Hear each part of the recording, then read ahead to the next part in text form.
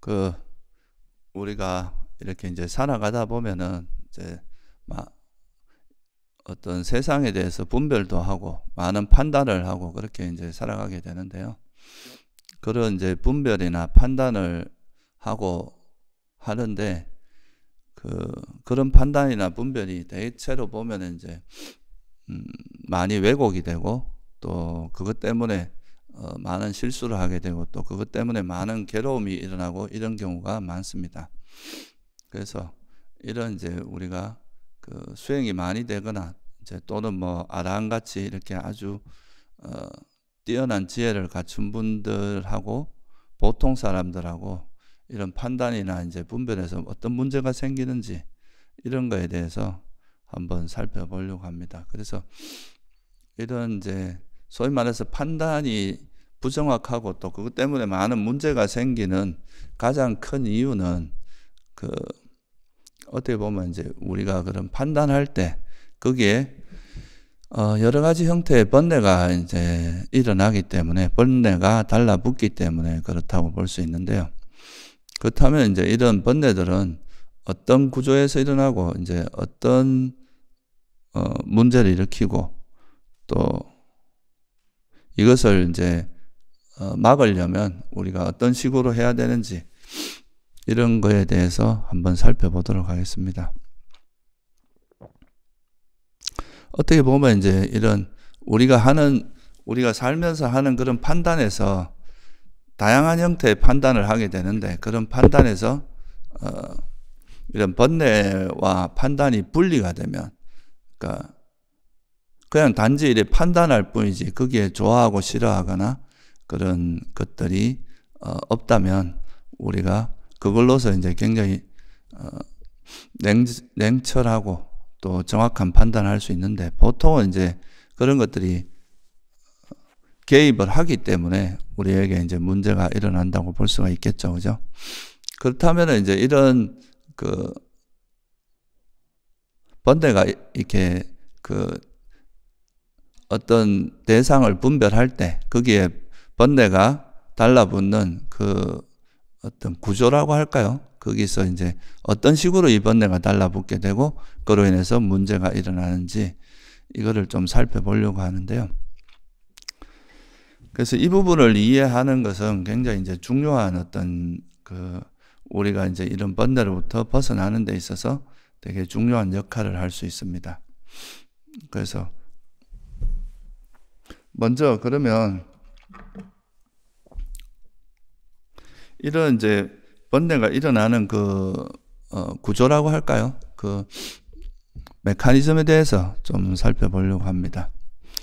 먼저 이제 번뇌란 용어에 대해서 간단히 좀 설명을 드리면요. 번뇌라고 하는 거는 그 빨리어로는 아사와라고 하는데 이거는 흘러나오다 뭐 이런 뜻입니다. 그러니까 이거는 이제 아란이 되기 전까지는 우리 마음에서 계속 흘러나오는 그런 어떤 마음 상태다 또는 해로운 마음이다. 이런 의미에서 번뇌라고 표현을 하고요. 그래서 이걸 이제 중국에서는 허를 누자를 써서 누, 누라고 표현하기도 하고 또 번뇌라고 표현하기도 합니다. 그래서 이 번뇌는 우리가 이제 그 괴로움에서 벗어나지 못하게 우리를 음, 방해하는 가장 그 대표적인 건데 뭐 간략하게 말하면 어리석음과 그 탐욕 이 두 가지로 이야기를 하고요. 할 수 있고요. 이 또 탐욕은 좀 나누면 감각적 욕망, 그러니까 감각 대상을 즐기려고 하는 감각적 욕망과 존재에 대한 욕망, 이렇게 이제 두 가지로 또 나눌 수가 있습니다. 그래서 뭐 또 이런 그 탐욕이 있으면 그거에 대해서 또 반작용으로 성냄이 일어나기 때문에 어떤 면에서 이 안에 성냄도 내포되어 있다 해도 뭐 과언은 아니라고 할 수 있겠죠. 그래서 번뇌라는 것은 기본적으로 어리석음과 탐욕을 이야기하고요. 이 탐욕은 감각적 욕망에 대한 탐욕, 존재에 대한 탐욕, 이 두 가지로 나눌 수가 있습니다. 그래서 이제 이런 것들이 그러면 어떻게, 왜 일어나느냐. 기본적으로 이제 우리가 어떤 대상을 분별할 때는, 어, 기본적으로 불교에서는 이걸 뭐라고 하냐면 접촉을 통해서 이런 이제 의식 또는 분별 작용이 일어난다. 이렇게 한마디로 이야기를 합니다. 그래서 이제 눈이라고 하는 것과 형상이 만나면 그 그거를 아는 그 형상을 아는 어 안식이라고 눈의식이라고 하는 것이 일어나고 또 마음 우리 마음에서 어떤 생각이 떠오르는 이걸 우리가 보통 법이라고 하는데 그런 것이 떠오르면은 그거에 대해서 분별하는 또 의식 그러니까 마음 의식이라고 이제 표현하죠. 이제 마음으로부터 직접 그 대상을 분별하는 그런 마음 의식이 일어나고 이렇게 이제 여섯 가지씩 아니비설신의라고 하는 여섯 가지씩이 일어나는데 그 식이 일어날 때 어, 뭐가 같이 일어나냐면 이 식하고는 항상 그 느낌이 함께 일어납니다. 그 대상에 대해서 좋고 싫고 좋지도 않고 싫지도 않다고 어, 느끼는 그 느낌이 항상 일어나는데 이 느낌을 통해서 이제 어떻게 보면 이 느낌이 번뇌가 일어나는 거에 가장 주된 원인이 된다 이렇게 말할 수 있습니다. 그래서 이 느낌은 우리가 이제 어떤 대상을 만날 때 최초에 일어나는 어떤 정신작용이라고도 할 수 있는데 이 느낌에 의해서 그거에 대해서 우리 마음이 달라붙기도 하고 또 그거에 대해서 거부하고 싫어하기도 하는 이런 이제 대표적인 번뇌들이 일어나고 그래서 어떻게 보면 이제 우리가 이런 번뇌를 이해하는 그 번뇌가 일어나는 데 있어서 가장 그 어, 최초로 이제 그 번뇌라고 하는 건 의식과 함께 일어나는 건데요. 이 의식이 작동을 할 때 제일 먼저 어떤 대상을 만났을 때 최초로 우리가 부딪히는 게 느낌이라고 할 수 있기 때문에 이 느낌이라는 걸 통해서 이제 접촉이 있을 때 어떤 대상과의 접촉이 있으면 느낌이 일어나고 이 느껴진 대상에 대해서 또 인식 그 대상을 이렇게 파악하는 어떤 그 대상의 표상이나 이미지를 취하는 그런 인식이 일어나고 그걸 통해서 이제 분별 작용이 생각이 일어나고 분별 작용이 일어난다. 이렇게 이제 불교에서는 보기 때문에 그래서 이 느낌이라는 걸 통해서 이 이제 그 대상에 대해서 이러저러한 어 번뇌가 일어난다. 이렇게 보는 거죠. 그래서 이 부분에 대해서 조금 더 자세히 좀 살펴보면요. 보통은 이제 우리가 오랜 세월 동안 이제 다양한 대상을 접하면서 또 그거에 대해서 분별하고 좋아하고 싫어하고 뭐 이런 이제 희노애락을 겪으면서 살아왔기 때문에 사람마다 이제 어떤 대상을 딱 볼 때마다 그 대상에 대해서 이제 원하는 대상이 있고 또 원치 않는 대상이 있고 또 그냥 뭐 그저 그런 담담한 담담한 그런 대상도 있을 수 있습니다. 그런 대상들이 일어날 때마다 그 대상에 대해서 좀 기계적으로 어떻게 보면 어 거의 습관적으로 작동되는 그런 것들이 있는데요. 이게 이제 우리가 보통 가지고 있는 의식의 구조고 이 그 습관적으로 작동되는 이거를 이거는 보통 이제 이렇게 습관적으로 작동이 되면 거기에 번뇌가 작용하기가 어 뭐 거의 대부분은 번뇌가 작용을 하게 됩니다.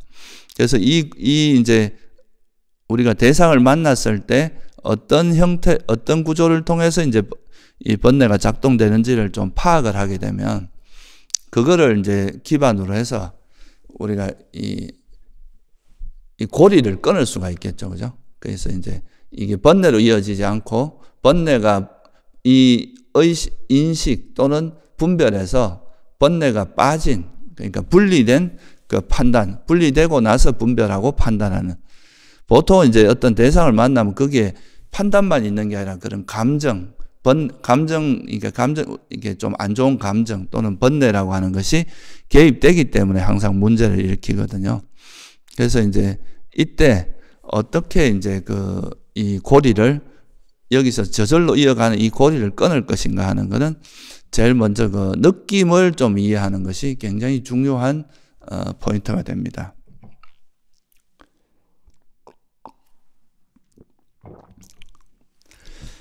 그래서 이제 이 느낌을 가지고 이제 접촉이 일어나면 기본적으로 느낌을 일어나고 그 느낌에 의해서 모든 이제 그 우리 정신작용이 굉장히 영향을 많이 받기 때문에 그거에 대해서 조금 어 살펴보도록 하겠습니다.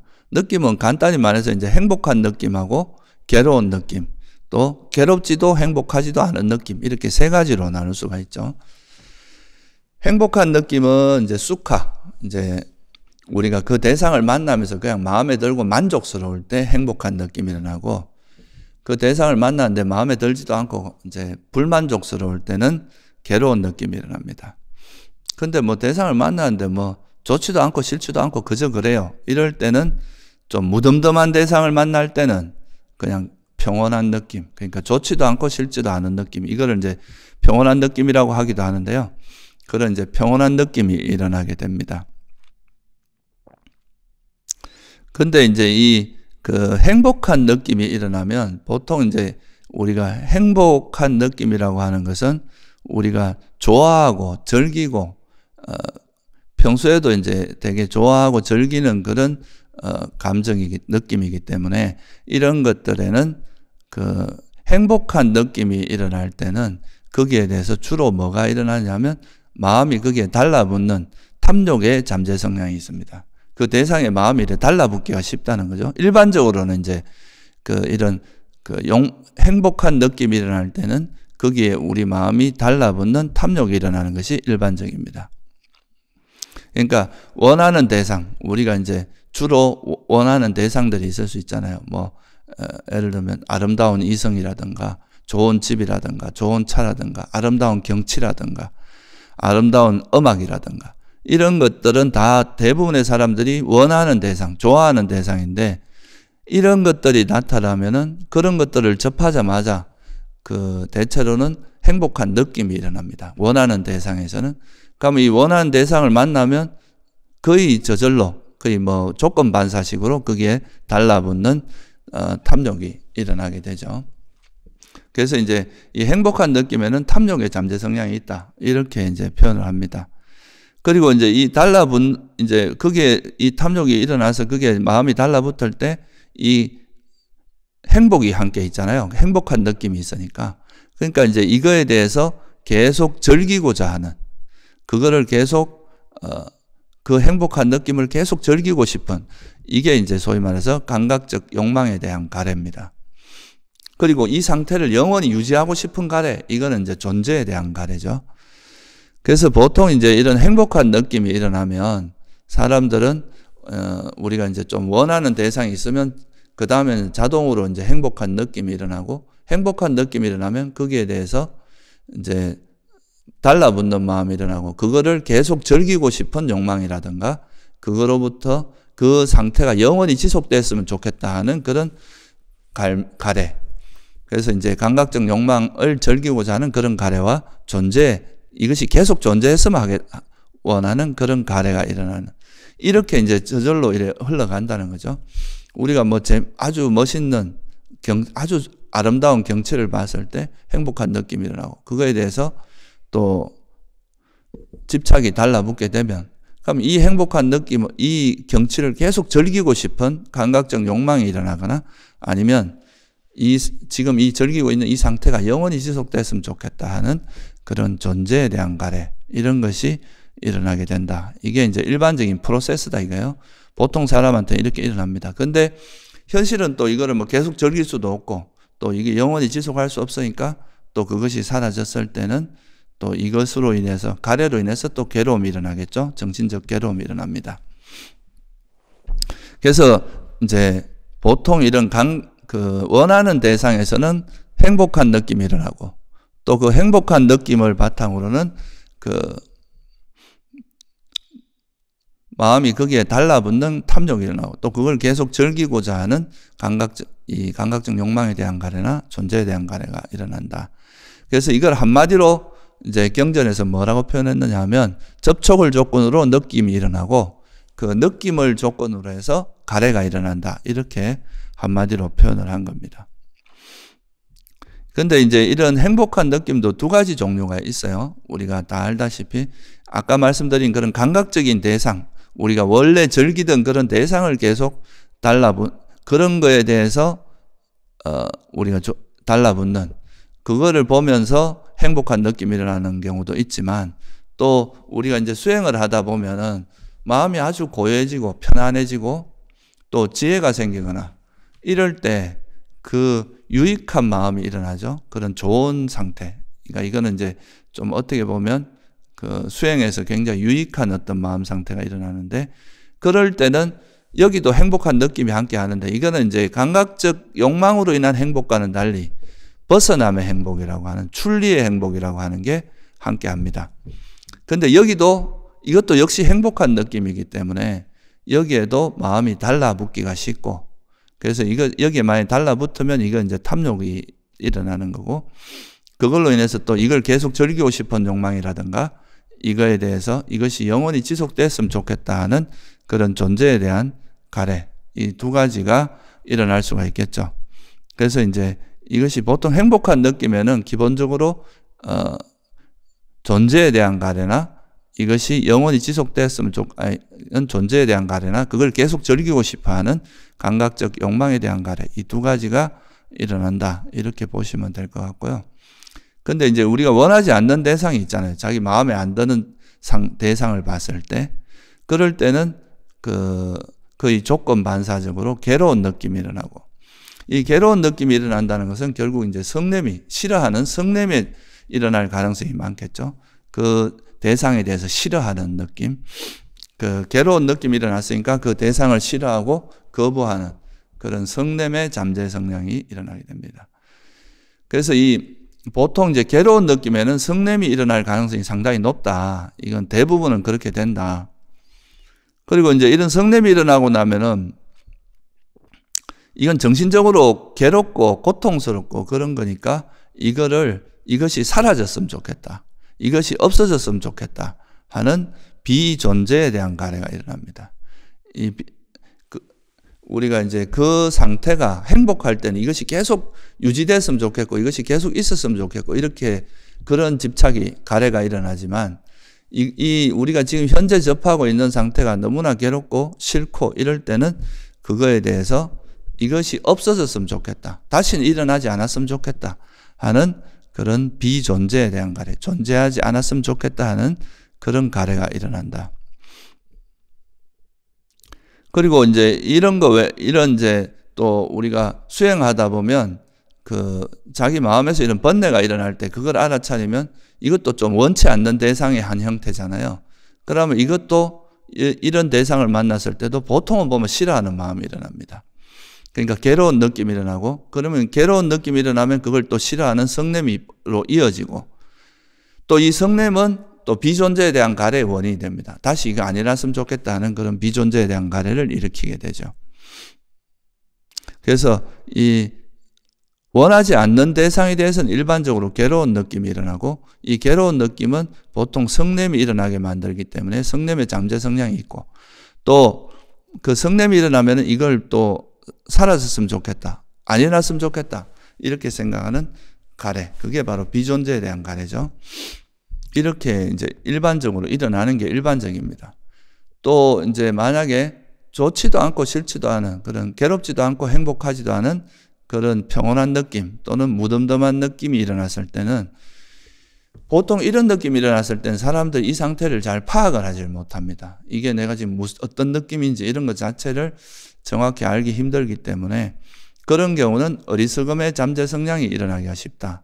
그러니까 대상이 아주 뚜렷하게 좋으면은 그냥 탐욕이 달라붙는 탐욕이 일어나고 그 대상이 뭐라고 이제 행복하면서 달라붙는 탐욕이 일어난다면 또 싫어 원치 않는 대상에는 싫어하는 마음, 괴로운 느낌이 일어나고 그래서 이제 성냄의 잠재성이 일어나기가 쉽다.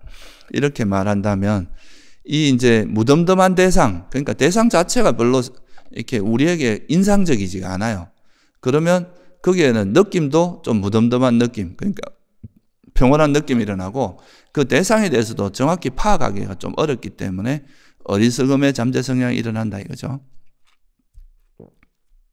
그래서 이것도 이제 그런 잠재 어리석음에 그래서 평온한 느낌은 어리석음이 일어나게 만드는 그런 잠재 어리석음의 잠재 성향이 일어나게 만드는 그런 조건이 된다. 그래서 우리가 원하는 대상을 만나든 원치 않는 대상을 만나든 또는 무덤덤한 대상을 만나든 간에 그 어, 어떤 행복한 느낌이나 괴로운 느낌 또는 평온한 느낌이 일어나게 되고 그로 인해서 탐욕이나 성냄이나 어리석음의 그런 잠재 성향이 일어나는 것이 일반적인 어떤 마음의 프로세스다. 이것이 이제 보통 그 우리가 어 수행을 하지 않고 이런 지혜가 없는 사람들은 일반적으로 이렇게 흘러가게 돼서 그래서 그냥 좋은 게 나타나면 막 좋아하면서 그거에 대해서 어, 즐거워하다가 또 이게 또 영원히 지속되는 건 아니니까 또 사라지게 되면 또 거기에 대해서 막 괴로워하고 힘들어하고 이렇게 또 살다가 또 이거를 또 새로운 뭐 자기가 원하는 대상을 만약에 만나게 되면 또 즐거워하다. 이렇게 계속 희노애락 그러니까 기뻐했다가 즐거워했다가 또는 어, 괴로워했다가 이것이 계속 반복되는 그런 것이 일어나는 것이 우리의 어, 일반적인 사람들의 삶이다. 그래서 여기서 자세히 들여다보면 이걸 이제 부처님께서 어떻게 말씀하셨느냐. 12연계 보면 그런 말이 나오죠. 이런 이제 대상과의 접촉이 있어요. 어떤 대상과 만날 때는 거기에 대한 느낌이 일어납니다. 그리고 이 느낌이 일어나면은 이제 괴로운 느낌이 일어나면은 아니 행복한 느낌이 일어나면은 탐욕이 여기에 달라붙게 되고 그래서 이걸 계속 즐기고자 하는 존재에 대한 가래나 감각적 욕망에 대한 가래가 일어납니다. 그리고 또이 원치 않는 대상을 만날 때는 괴로운 느낌이 일어나고 그러면 또 성냄이 일어나죠. 그럼 정신적으로 괴로우니까 이것이 없었으면 좋겠다 하는 비존재에 대한 가래가 일어납니다.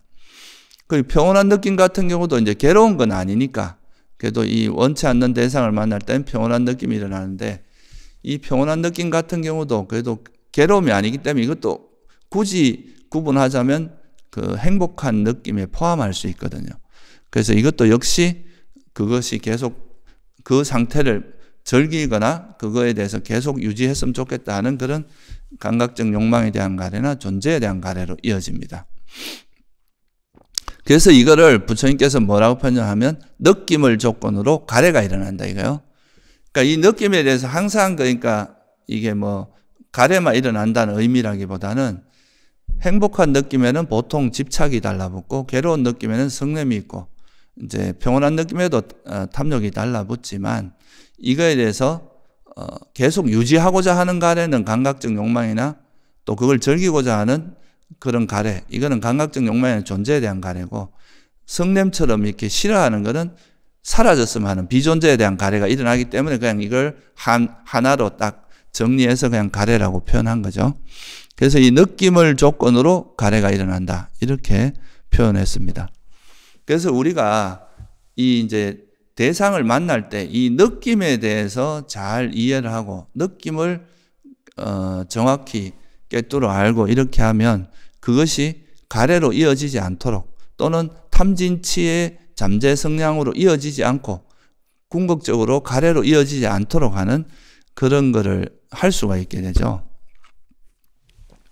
그래서 이제 이런 그 느낌에 우리가 쏟게 되면은 이 느낌이라는 거에 쏟게 되면은 계속 그런 이제 탐진치가 일어나고 그로 인해서 이제 존재에 대한 가래나 비존재에 대한 가래나 또는 감각적 욕망을 계속 즐기고자 하는 가래 이런 것들이 가래로 이어질 수밖에 없는데 근데 이제 만약에 이 느낌에 대해서 우리가 정말 제대로 이해를 하고 느낌의 본질을 깨뚫어 안다면 이 느낌에서 이런 이제 어, 번뇌로 이어지지 않고 느끼는 걸로 끝나고 그냥 그 이후에 일어나는 것은 어, 번뇌가 없는 분별과 판단으로 이어질 수 있는 그렇게 되겠죠. 그렇게 되면은 사실 괴로움이 일어날 일이 별로 없게 됩니다.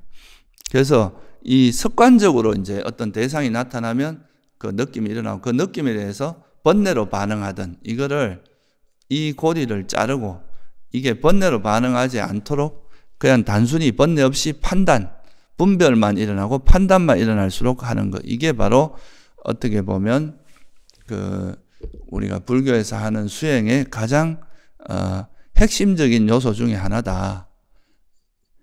어떻게 보면 이게 번뇌가 막 벌어지고 났을 때 이제 이미 번뇌가 막 성장을 해서 그때 가서 이 번뇌를 버리려고 하는 것보다 처음에 이제 이 느낌을 느낌을 일어날 때 그 느낌에 대해서 정확히 통찰을 하게 되면요.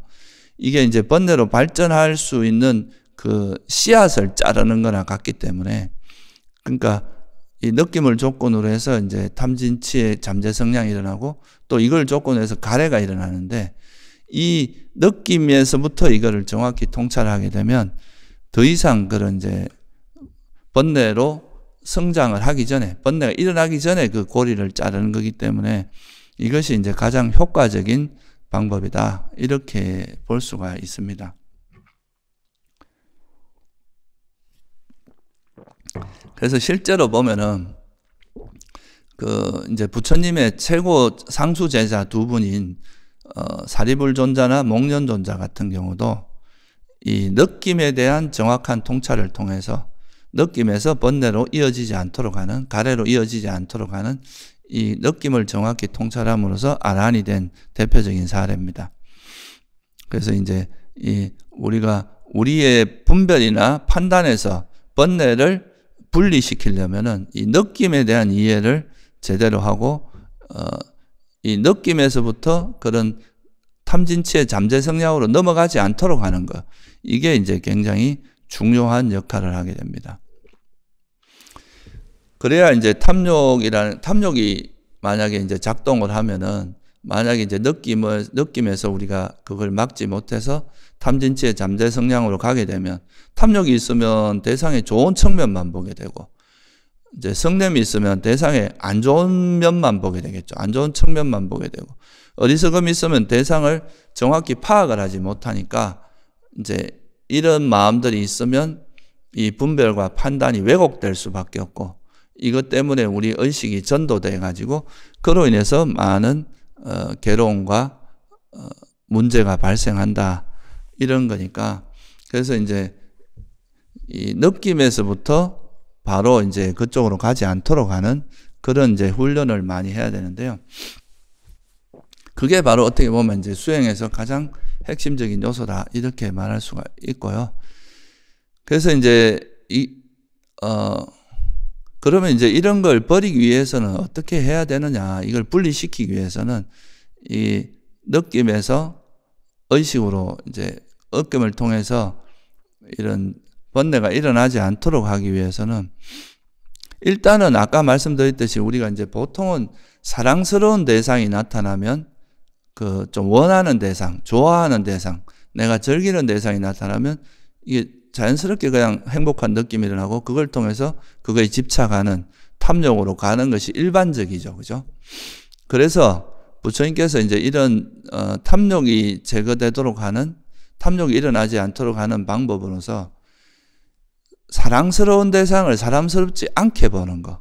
혐오스러운 대상, 혐오스럽지 아, 않은 대상, 그러니까 사랑스러운 대상을 오히려 혐오스럽게 보는 이런 수행 방법을 이제 제시를 하셨는데 그게 바로 그 부정관 수행입니다.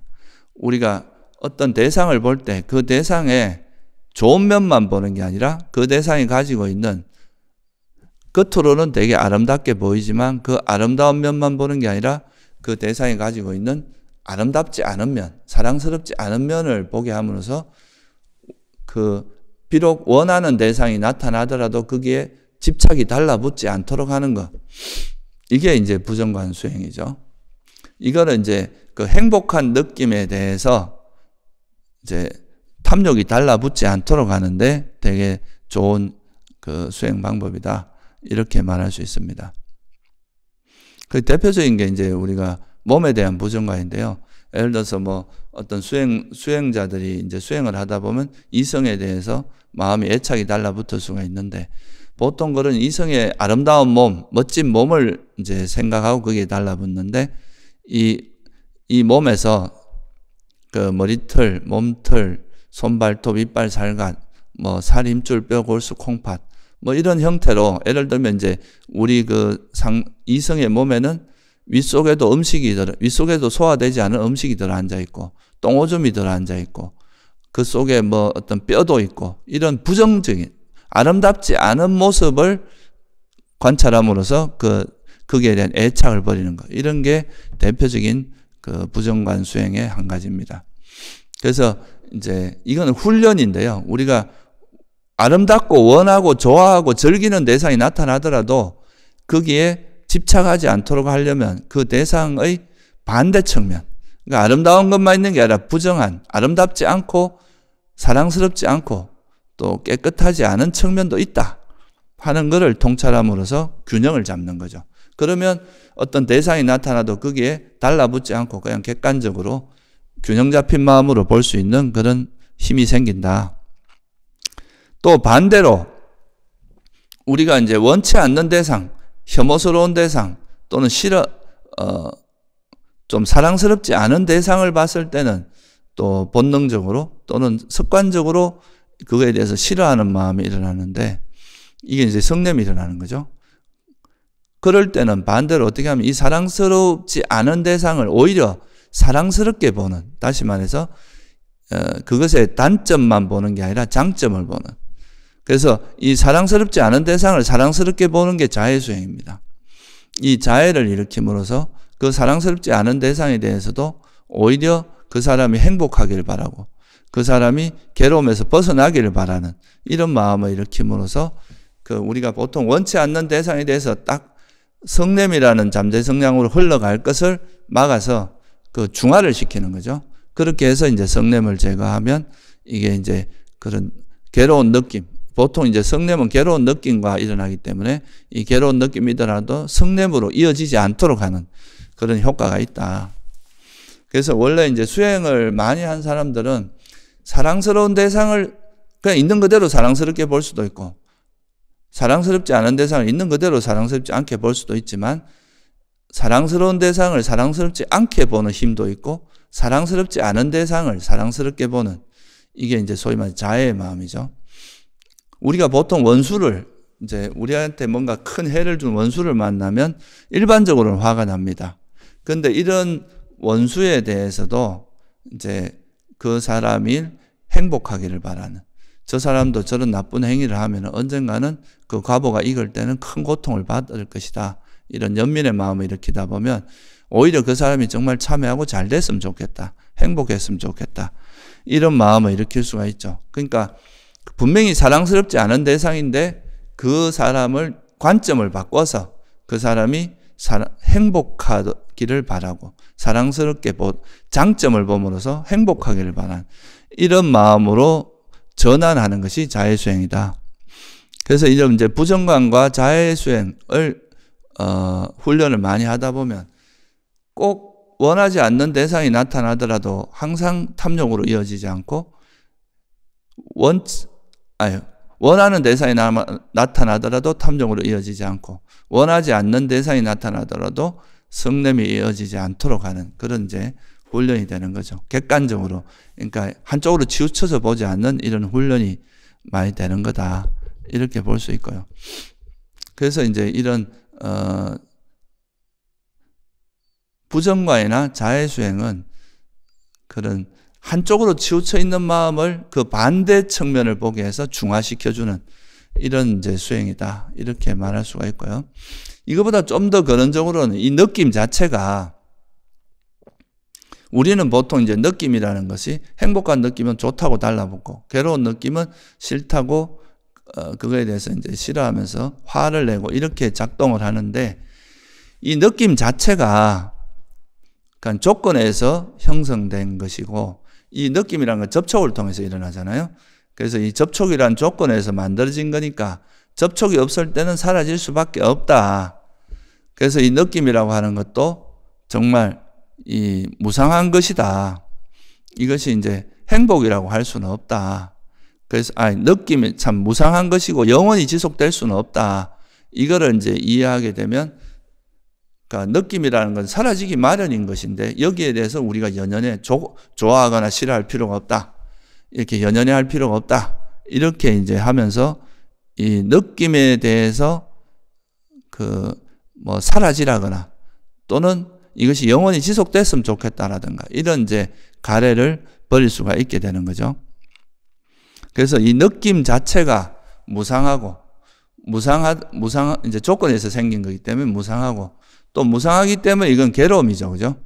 이 느낌이 아무리 행복이라고 하더라도 우리가 지금 행복한 느낌을 느끼고 있다. 그래서 이제 행복하다고 하더라도 이 행복이 영원한 것이 아니라 변하기 마련이기 때문에 이거는 어떻게 뭐 행복이라고 할 수 있느냐. 이 지금 아무리 행복한 느낌이 일어난다 하더라도 이건 다시 괴로운 느낌으로 바뀔 수 있다는 거. 이거를 통찰하게 되면은 아, 느낌 자체가 행복이라 할 수 없구나. 그래서 이제 느낌 자체도 괴로움이라는 걸 알 수 있고 또 이런 느낌은 접촉에 서 이제 무, 일어나는 거라서 무상하고 괴로움이기 때문에 괴로움의 속성이 있기 때문에 이걸 어떻게 내 것이라 하겠는가. 나라고 할 수도 없고 이거는 실체도 없다. 비었다. 이제 무하다. 이렇게 이제 통찰을 할 수가 있게 됩니다. 그래서 이 느낌이 있으면 이제 탐진치가 일어나게 되고 그 잠재 성향이 있으니까 이걸 또 이제 행복한 느낌에는 집착하는 성질이 있고 괴로운 느낌에는 싫어하는 성냄이 일어나고 어, 평온한 느낌에는 어리석음이 일어나는 이런 잠재 성향이 있는데 이거에 대해서 어, 또 아까 말씀드렸듯이 계속 즐기고 싶어하는 그런 그 행복한 느낌이나 평온한 느낌은 계속 즐기고 싶어하는 감각적 욕망이나 또 그걸 영원히 존재했으면 좋겠다는 존재에 대한 가래나 이런 게 일어나고 성냄은 사라졌으면 좋겠다는 비존재에 대한 가래가 일어나기 때문에 결국 느낌을 조건으로 가래가 일어난다. 이렇게 말씀을 드렸는데 이 가래가 일어나는 건 그 느낌에 대해서 집착을 하고 때문이죠. 그죠? 그래서 그것이 이제 무상하고 괴로움이고 무하다. 이렇게 이제 통찰을 하게 되면 아니 느낌 자체는 그냥 이렇게 지나가 버리는 거고 이것 자체가 괴로움이고 느껴진 것은 아무리 행복이라 해도 괴로움이, 괴로움의 요소가 있고 괴로움의 속성이 있을 수밖에 없고 실체도 없고 그냥 무하다.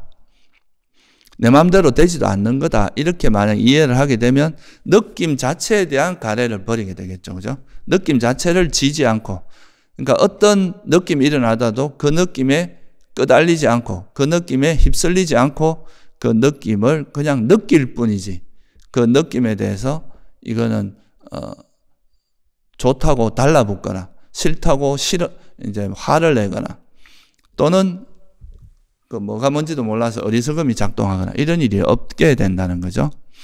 그래서 이렇게 이제 이 느낌 자체를 어 명확히 통찰하면 느낌에 대한 어리석음이 사라지게 되죠. 이 느낌 자체가 어 본질적으로 이건 실체가 없는 거고 이건 무상하고 또 괴로움의 속성이 있고 실체도 없다. 무하다. 이렇게 보게 되면 거기에 대해서 어리석음이 이제 사라지게 되겠죠. 이렇게 하면 이제 느낌에 대해서 그런 이제 탐욕이라든가 성냄이라든가 어리석음의 잠재 성향이 일어날 가능성, 일어날 것을 제거하는, 어, 방향으로 이제 지혜가 생기게 되는 거기 때문에 그렇게 되면은 이제 이, 이런 지혜를 개발하게 되면은 더 이상 이 느낌이 일어나더라도 거기에 어, 번뇌가 달라붙지 않는다. 탐욕이나 성냄이나 어리석음의 잠재 성향이 일어나지 않게 된다. 이것이 이제 부처님께서 이, 가 우리가 느, 느낌, 어떤 대상을 만났을 때 이거 느낌이 일어나는 것은 그냥 거의 반사적으로 일어나는 건데 이런 대상, 어떤 대상을 만나서 어떤 데, 느낌이 일어나더라도 거기에 영향을 받지 않고 그거로부터 초연한 어떤 마음을 개발할 수 있다. 이거를 이제 설명을 하신 겁니다.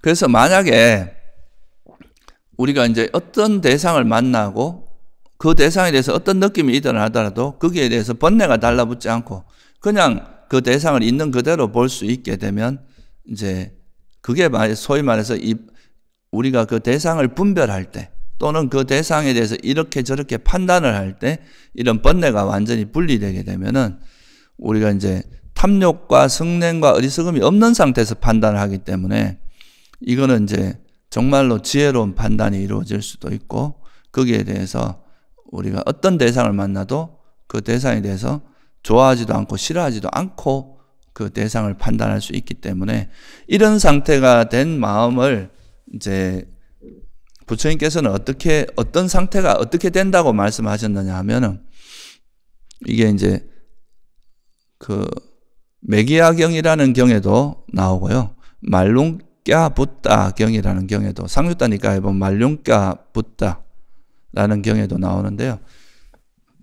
그러니까 그대가 볼 때는 보고 듣고 감지하고 알아야 될 것을 알 때. 이게 다시 말하면 뭐냐 하면 견문각지라고 하죠. 우리가 이제 접촉을 통해서 볼, 보는 건 안식이 일어나는 걸 견이라고 하잖아요.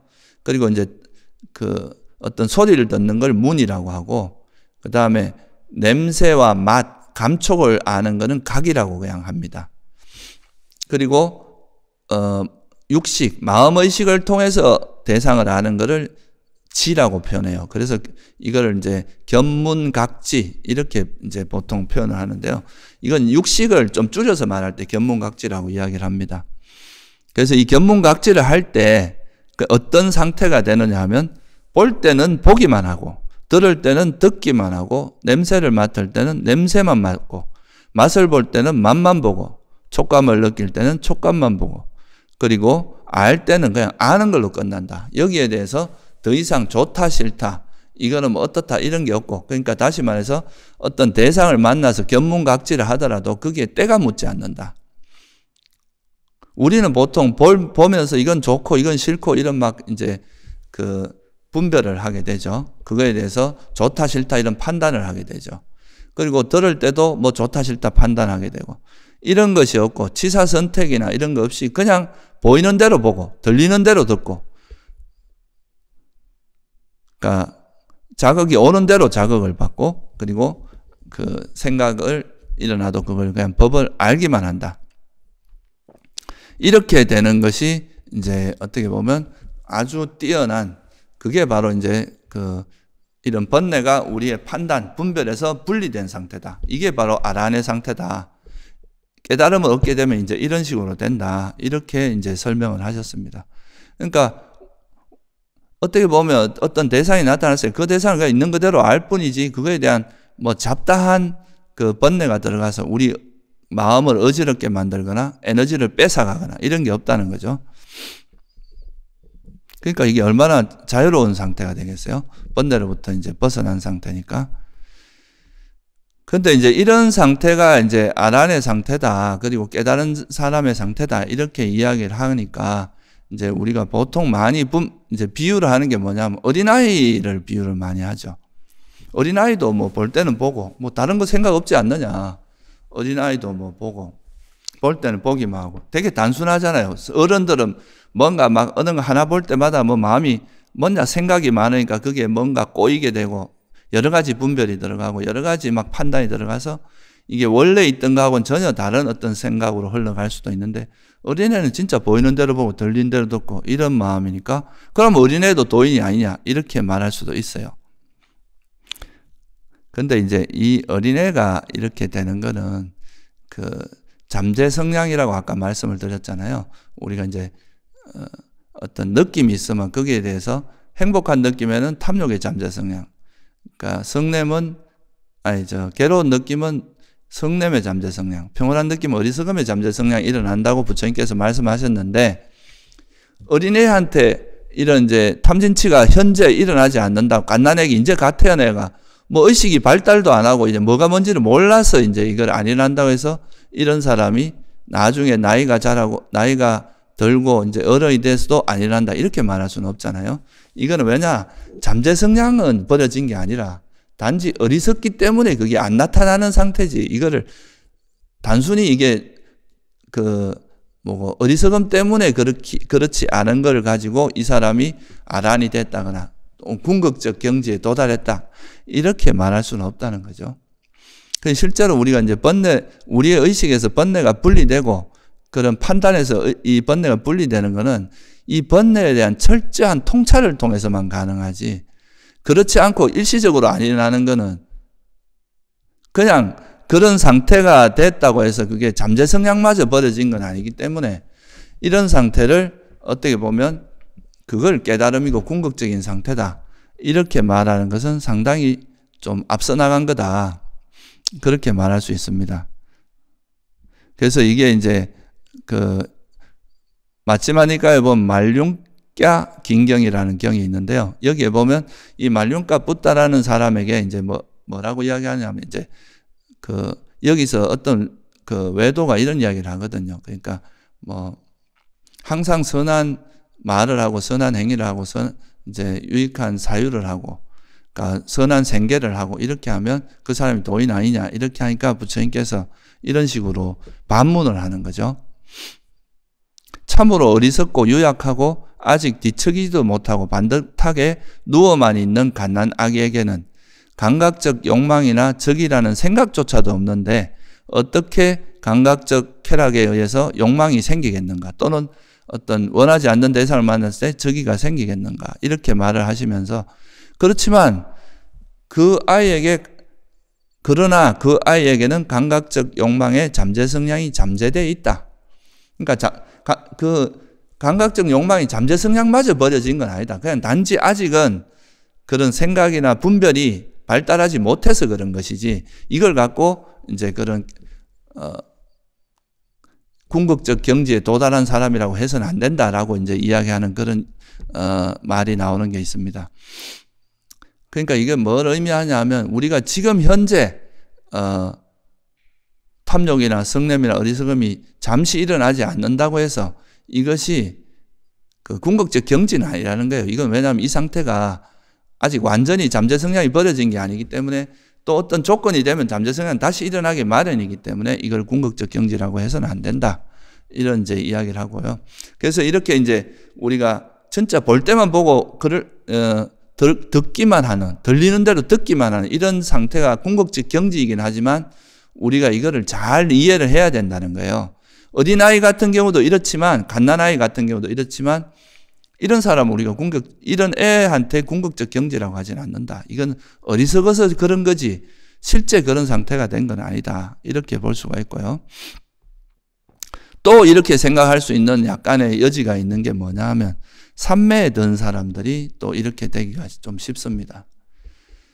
그러니까 우리가 이제 수행을 해서 산매, 어, 산매를 닦아요. 호흡 수행이나 또는 뭐, 어, 가시나 수행, 이런 이제 수행을 통해서 이런 산매를 닦고, 뭐 수행법은 다양히 있으니까 연부를 할 수도 있고, 화두를 넣을 수도 있고, 다양한 수행을 하다 보면 이게 마음이 집중이 잘 되고, 정말 이렇게 일시적으로 번뇌가 탐욕이나 성냄 이런 게 버려진 상태가 되면은 그렇게 이제 삼매 뭐 특히나 선정 정도 되는 그런 아주 깊은 몰입된 삼매에 들었다 나오게 되면 그 상태에서도 이렇게 세상을 바라보면 정말 이 마음이 그 대상과 이렇게 분리돼 가지고 그 대상에 대해서 뭐 달라붙거나 싫어한 마음이 없이 정말 평온한 마음으로 이런 현상을 볼 수 있는 그런 마음 상태가 되기도 하거든요. 그러면 이제 그런 상태가 되면 아 이게 바로 깨달음이구나. 그래서 어 내가 부처님처럼 이제 어떤 대상을 만나도 여기에 내 마음의 동료도 없고 여기에 달라붙지 않는구나. 이렇게 생각하고 아 그래서 이 지금 이 상태 어떻게 보면 마음이 대상에도 달라붙지 않고 평온한 이 상태 이대로가 정말 이 깨달음이고 이거 자체가 정말 전부구나. 세상은 이대로가 만족스럽고 여기서 아무것도 할 게 없구나. 이렇게 이제 생각할 수도 있다는 거예요. 근데 이것도 아까와 마찬가지로, 그러니까 어리석은 사람과 마찬가지로 이 삼매라는 건 분명히 수성한 단계인 건 맞습니다. 일시적으로 탐욕이나 성냄이나 이런 어리석은 같은 게 일시적으로 제압당했기, 제압됐기 때문에 이 삼매의 힘이 있는 동안에는 이제 탐욕이나 성냄이나 어리석음이 일어나지 않겠죠. 이런 잠재 그 번뇌가 일어나지 않겠지만 이것도 아직은 잠재 성향을 완전히 버린 상태가 아니기 때문에 이것도 아직 그 어떤 산매 힘이 떨어지고 다시 또 새로운 자기가 어떤 번뇌가 자주 일어나는 익숙한 환경에 다시 부딪히게 되면은 이건 다시 또 그런 번뇌하고 의식이 결합을 해가지고 다시 그런 번뇌가 일어날 수 있는 가능성을 여전히 가지고 있습니다. 이건 좀 일시적인 거라는 거죠. 그 삼매의 힘이 있는 동안에만 작동되는 왜냐하면 아직은 잠재 성향이 버려진 게 아니라 그 삼매의 힘 때문에 일시적으로 그 탐욕이나 성냄의 어리석음의 잠재 성향이 어 일시적으로 그 삼매의 힘에 눌러서 일어나지 않는 상태지 완전히 버려진 상태는 아니다. 그래서 이것도 아직 궁극적 상태라고 해서는 안 된다는 거죠. 우리가 이런 건 되게 착각하기가 쉽거든요. 그러니까 수행을 좀 하다 보면은 그 어떤 마음이 되게 고요하고 또 편안해지고 이렇게 지혜의 힘도 좀 생기고 이러다 보면 그러니까 삼매의 힘이 생기고 이러다 보면 그 어떤 대상을 봐도 완전히 이제 거기에 끄달리지 않고 정말 한 걸음 떨어져서 관조하듯이 볼 수 있는 그런 힘이 생기기도 하는데 이것도 아직은 이제 완전히 그 잠재 성향을 버린 상태가 아니기 때문에 이것도 궁극적 경지라고 할 수는 없다 이 말이고요. 그리고 이게 이제 또 삼매의 힘은 좀 부족하더라도 또 지혜의 힘이 강하면은 어떻게 보면 이제 지혜의 힘이 강한 사람들은 이제 아까 말씀드렸듯이 느낌에 대해서 아, 이 느낌 자체가 정말 무상하고 이건 괴로움이고 내 것이라 할 만한 것도 없고 어, 실체가 없는 것이구나 이렇게 깨뚫어 알게 되면 그러면 이제 느낌에서 더 이상 번뇌로 진행이 안 되고 그러면서 이제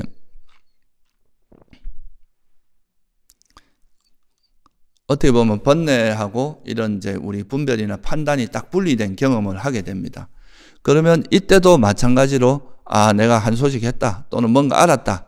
이렇게 생각할 수 있는 여지가 많은데 이것도 이제 일시적으로 버려지긴 했지만 완전히 제압된 건 아니죠. 물론 이제 이런 지혜로서 이렇게 버리는 힘이 점점 강해지다 보면 이 지혜가 어 점점 성숙하고 예리해지고 더 깊어지면 그때 가서 이제 이 잠재 성향마저 완전히 버리게 되는 과정까지 가긴 하지만 어 아직 그 수행 과정에서 이제 일어나는 이런 어 수행하는 중에 한 번씩 경험하는 이걸 가지고 마치 깨달음이라고 생각하는 것은 좀 이르고 위험하다. 이렇게 볼 수가 있습니다. 그러면 이제 부처님께서는 이거를 어떤 식으로 해야 그러면 이제 완전히 번뇌가 버려진 상태가 될 수 있느냐. 그거에 대해서 하나의 예로서 어떻게 이제 이야기를 하셨냐 하면은 일단은 이제 이 잠재 성량을 완전히 버리기 위해서는 뭐가 필요하냐? 도와 도닦음을 완전히 깨뚫어 알아야 된다. 이 탐욕을 제거하고 성냄을 제거하고 어리석음을 제거하는 이 그 도닦음, 도, 그러니까 이제 이거의 방법이나 도, 그 수행 방법이나 그 지혜가 완전히 이제 터득이 돼야 된다. 그렇지 않고서는 그냥 일시적으로 이게 사라진 것이지 그게 완전한 어떤 경지에 들어갔다고 말할 수는 없다 이거죠. 그래서 그 한 예로 어떻게 하냐면 우선에 이제 어떤 수행을 통해서 선정을 닦습니다. 이 선정을 닦는 과정도 부처님께서 말씀하신 이 선정을 닦는 과정은 일시적이긴 하지만 탐욕이나 성냄이나 이런 그 장애 요소들 있잖아요. 그 감각적 욕망이나 적이라든가 해태 온침이라든가 또 덜떠미 후회라든가 또는 의심 같은 이런 장애를 철저히 내려놓음으로써 이 감각적 욕망과 완전히 떨쳐버리고 해로운 법을 떨쳐버리고 나면 그때 들어가는 게 선정이거든요. 그러니까 이제 이 선정을 닦는 과정에서도 이미 어, 감각적 욕망이나 이런 성냄, 이런 장애들이 이미 버려지는 지혜가 상당히 개발되게 했지만 이건 아직까지 완전한 상태는 아니다. 이렇게 볼 수 있는데요. 그래서 이렇게 선정을 얻은 다음에 그 선정에서 출정을 해요. 선정에 들어가는, 나오면 그때는 마음이 너무나 깨끗하고 순수한 마음 상태죠. 이미 선정의 힘 때문에 어, 일시적으로 장애가 완전히 그 탐진치가 일시적으로는 버려진 상태이기 때문에 그런 마음은 너무 깨끗하고 또 이게 워낙 그 어, 확실하고 깨끗하고 집중돼 있고 그런 마음 상태이기 때문에 이때 개발되는 지혜는 굉장히 파워풀합니다. 그래서 선정에서 출정된 후에 이게 이것도 역시 말론가 경이라는 경에 나오는 건데요. 이 선정에서 출정한 다음에 선정을 이루고 있는 그러니까 선정에 들었을 때 자기 몸과 마음 상태가 있을 거 아니에요. 그죠?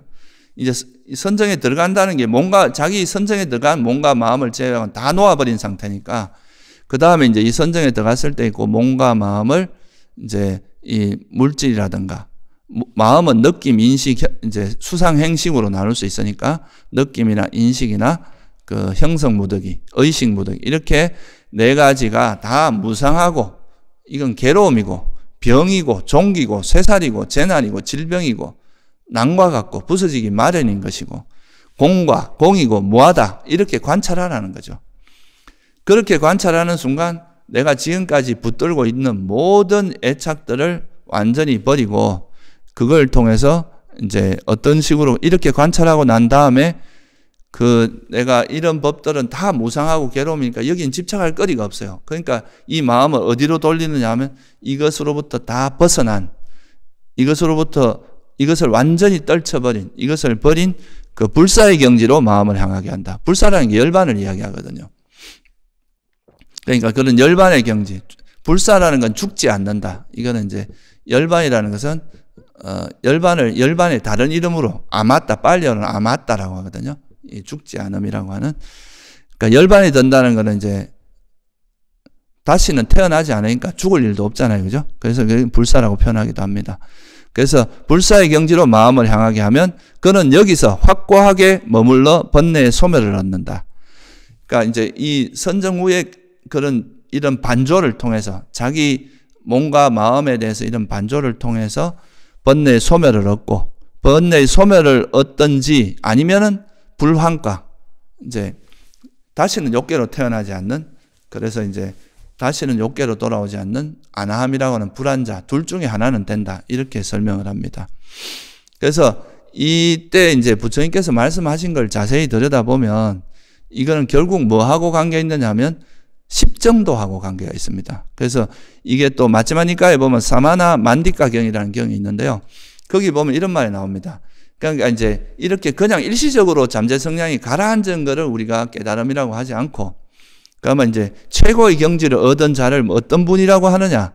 나는 이러한 십정도를 구족한 인간을 유익한 법을 갖춘 자, 최상의 유익함을 가진 자, 최고의 경지를 얻은 자, 대적할 수 없는 사무이라고 나는 천명한다. 이렇게 이제 말씀을 하고 있는데요.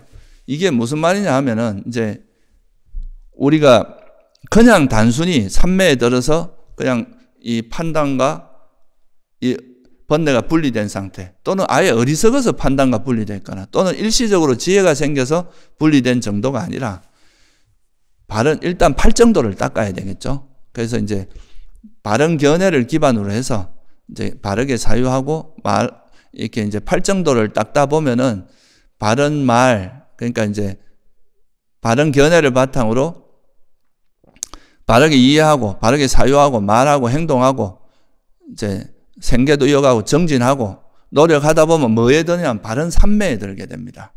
이 팔정도를 실천하다 보면 이게 이제 팔정도라는 게 중도라고 하죠. 그러니까 이거는 이제 어떤 감각적 욕망이나 이렇게 자기를 어, 즐기는 쪽으로 가지도 않고 그렇다고 자기를 고행도 하지 않고 그 벗어남의 행복을 기반으로 해서 수행을 하다 보면 그러니까 팔정도를 닦다 보면 뭐를 얻게 되냐면 바른 삼매를 얻게 됩니다. 이 바른 삼매가 바로 이제 색계 초선, 이선, 삼선, 사선 이걸 바른 삼매라고 하죠. 그래서 이래 바른 산정을 얻은 다음에 삼매를 얻고 그 선정에 든 다음에 그 선정을 기반으로 해서 아까 말했듯이 이 선정을 이루고 있는 마음조차도 무상하고 괴로움이고 무하다, 공이다 이렇게 관찰하게 되면 그걸로 인해서 뭐가 생기냐 하면 바른 지혜가 생긴다 이거예요. 그게 삼마냐냐라고 하는 바른 지혜가 생깁니다. 이게 이제 아홉 번째 정도죠. 그리고 바른 지혜가 생기면 바른 해탈이 일어난다. 이게 바로 열 번째. 그래서 우리가 팔정도에다가 바른 지혜, 그러니까 삼마냐냐라고 하는 바른 지혜와 삼마 위무띠, 그러니까 바른 해탈이 더해진 걸 우리가 십정도라고 하거든요. 그러니까 아라한 그 이제 유학, 그러니까 수다원이나 사다함, 아나함까지는 그 8 정도밖에 구족이 안 되는데 아라한이 되는 순간 이제 10 정도가 구족이 된다고 합니다. 그래서 아라한이 되면은 8정도가 완성되면서 바른 삼매가 이루어지 그 삼매를 기반으로 해서 뭐가 생기냐면 바른 지혜가 생기고 바른 지혜가 생기면 바른 해탈이 이루어지고 자기가 해탈했다는 직견, 해탈 직견도 생기고 이래서 이제 아란이 된다.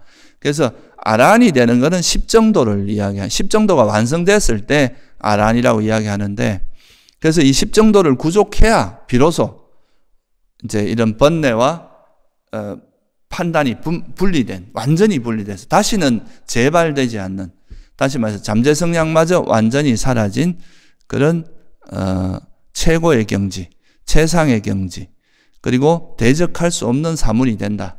이렇게 이제 말씀을 하신 거죠. 그래서 이제 우리가 이제 실제 수행을 하는 것은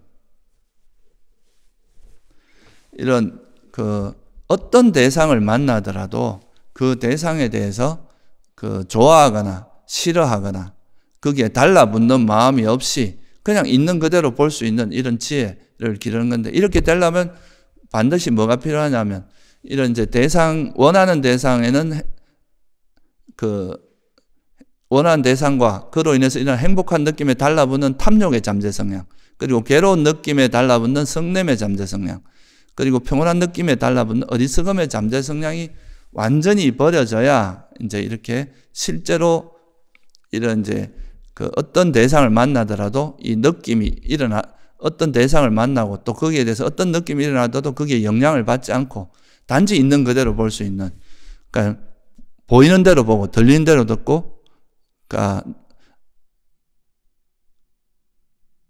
그냥 알아지는 대로 아, 그냥 있는 그대로 알게 되는 이런 이제 견문각지를 통해서 어떤 번뇌도 없이 그냥 그러니까 번뇌 없이 판단할 수 있는 이런 상태가 되는데 그게 그냥 이루어지는 게 아니라 그냥 단순히 일시적으로 내가 그 뭐 어리석거나 산매에 들거나 또 약간의 지혜가 있어서 그렇게 되는 상태를 가지고 만족해서는 안 된다. 그거 거기에 빠지게 되면 또 이것도 원하는 대상이기 때문에 여기에 또 탐욕이 달라붙게 되고 그로 인해서 또 문제가 생길 수 있다 이거예요. 아무리 좋은 대상이라 하더라도 그것도 거기 달라붙는 것도 여전히 탐욕의 잠재 성향이거든요. 그래서 이제 이렇게 되지 않고 이걸 완전히 버리는 방법은 뭐냐 하면 이런 번뇌에 대해서 철저히 깨뚫어 알아야 된다. 팔정도를 실천해서 이걸 완전히 이제 십정도를 완성해야 된다. 그러면 번뇌가 뭔지, 번뇌가 왜 일어나는지, 번뇌가 소멸한 상태는 뭔지, 번뇌의 소멸로 이르는 방법. 이거는 이제 그 방법도 8정도를 통해서 완전 10정도까지 완성했죠. 그래서 이 번뇌, 번뇌 일어난 번뇌의 소멸, 번뇌의 소멸로 이르는 인도한 도닦음까지 철저히 깨뚫어 알아서 버려진 상태가 돼야 그게 진짜 부처님께서 말씀하신 최상의 경지고 최고의 경지다. 그렇지 않은 상태에서 자기가 조금 이제 그런 맛을 좀 봤다고 해서 그렇게 그 상태에 안주하게 되면 그거는 나중에 되면은 퇴보합니다. 시간이 지나면 다시 일어나고 이건 이제 일어날 수밖에 없어요. 삼매 힘이 약해지거나 지혜가 약해지면 다시 일어날 수밖에 없다 이거죠. 그래서 우리가 이제 이런 수행을 할 때 일단은 그 어떤 대상을 만나더라도 그 느낌이 일어나게 되는데 그 느낌에서 번뇌로 넘어가지 않도록 하는 이 훈련을 많이 하시면 이게 이제 가장 좋은 방법 중에 하나입니다. 왜냐하면 번뇌가 일단 벌어지고 나서 하는 것보다 느낌에서 차단하는 게 가장 효과적이거든요. 그래서 이제 거기서 어, 하는 것이 좋고 또 이렇게 해서 이제 번뇌와 좀 분리됐다고 해서 조금 분리된 거에 대해서 이제 마음이 평온하고 이렇게 정말 이렇게 행복하고 그리고 어떤 대상에도 끄달리지 않는 것처럼 생각되더라도 이것도 어떻게 보면 좋은 대상 중에 하나거든요. 여기에 또 탐욕이 달라붙는다는 것은 아직 탐욕의 잠재 성향이 완전히 버려진 게 아니다. 이렇게 이해를 하고 이거를 이제 이 번뇌와 번뇌 일어남, 그러니까 이 번뇌를 버리는 방법, 번뇌 소멸로 인도하는 도닦음, 그러니까 그 팔정도에 대해서 철저히 통찰하고 그로 인해서 이 번뇌가 소멸된 완전히 소멸된 상태를 어, 하기 전까지는 끊임없이 이렇게 노력하는 그런 것이 중요하다. 그래서 이 번뇌와 그 이런 우리의 판단, 분별이 완전히 분리돼서 다시는 달라붙을 수 없는 그러니까 마치 이제 그런 거죠. 그 연꽃 위에는 연꽃잎 위에는 물을 떨어뜨려 물이 달라붙지 않고 쭈룩 미끄러지는 것처럼 또는 경전에 보면 이런 비유도 나옵니다. 바늘 끝에는 그 어떤 겨자씨를 올려놓을 수 없잖아요. 올려놓으면 금방 떨어지니까. 이런 것처럼 그 대상에 절대로 달라붙지 않는 그러니까 번뇌와 이런 분별과 판단이 결합되지 않는 그런 상태가 될 때까지는 꾸준히 이거를 이런 지혜도 개발하고 삼매도 개발하는 그런 노력을 해야 된다. 이거를 좀 이렇게 잘 알고 꾸준히 노력한 수행을 하시기 바랍니다. 예, 오늘은 여기서 마치도록 하겠습니다.